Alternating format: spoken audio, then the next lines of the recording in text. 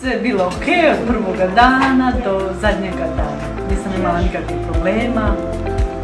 I tako, osoblje i doktor, sve je bilo super. Na nivou eh, jako zadovoljna.